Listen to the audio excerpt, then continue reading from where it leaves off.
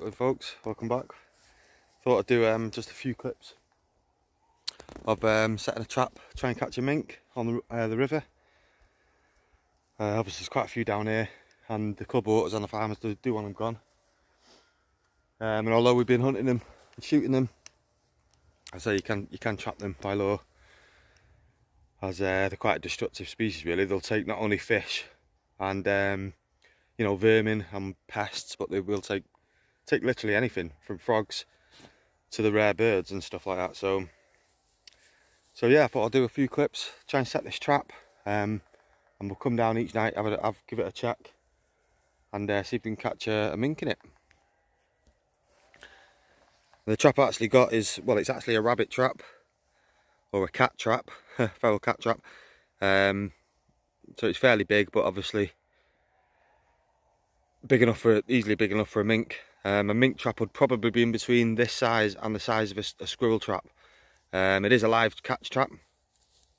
I do like using live catch traps, as I might have said before in one of the videos, purposely for the fact that if you do hit something, you know, if you do catch a species that you're not supposed to be catching, then it can be released unharmed. And you know, um, it's amazing how many robins and birds that I've actually had in live rat traps when I've been trapping for rats, which obviously on a breakback track or um, a gin trap, well not gin trap, sorry, they're, they're illegal, the, um, the Mark 4s traps, then obviously the you know the animal's going to be dead no matter what it is, so I always do I tend to prefer a live trap.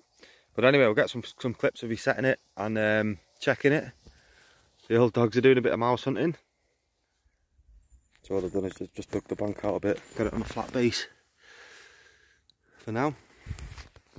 Actually just sprinkled some on the floor of the cage as well. Uh, what I'm going to do now is I'm going to put the bait in before finally covered up. Obviously it'll have an entrance on one end and um, it's closed at the other. So there we go, that's the bait basically.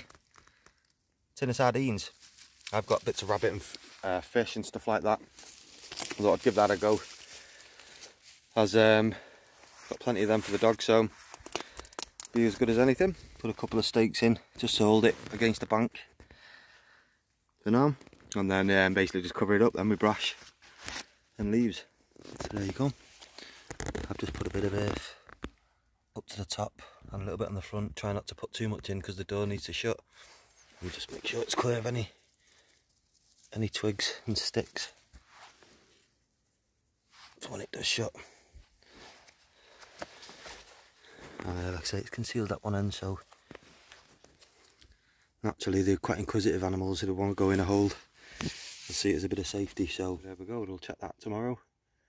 Um, often when you trap a mustelid, like a stoat or a mink or a weasel, um, the scent and the, the urine, if you like, from the animal once it's in the cage is usually enough to, to sort of lure others back in. So you, often you don't need to bait them that much really.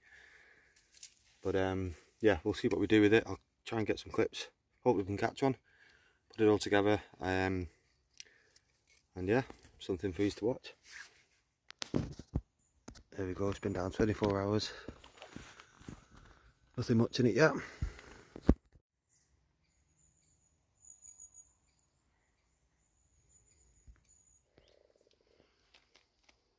There we go folks, there's one in it. Dogs have found it. There we go folks. Just going to dispatch it as quickly as possible. So there you go, like I say, ferocious predators. They will pretty much eat literally anything on the river from amphibians, fish, to any type of bird and any type of mammal they can get their hands on. As I say, they're quite uh, interesting really. They're semi-aquatic. You see they've got slightly webbed feet for swimming. So they're nothing like the um, polecat um, or the and weasel, even though they are the same family. But yeah, they are ferocious predators, and numbers do have to be kept down. So uh, I think this is looking at it looks like it's one of this year's young. Obviously they'll start dispersing and stuff now, uh, finding their own little territories. So, but there we go. Hopefully get the numbers down a bit. Yeah, so like I say, it's reset now. Um, and yeah, there's no no bait in it as such now. I'll just leave it from the scent of the other one. See if we can catch a few more really. There's your boy. Jim.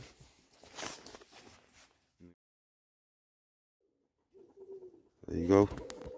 Just to show you, for anyone who's thinking, if your dog hunts mink, you're going to want to kill a ferret.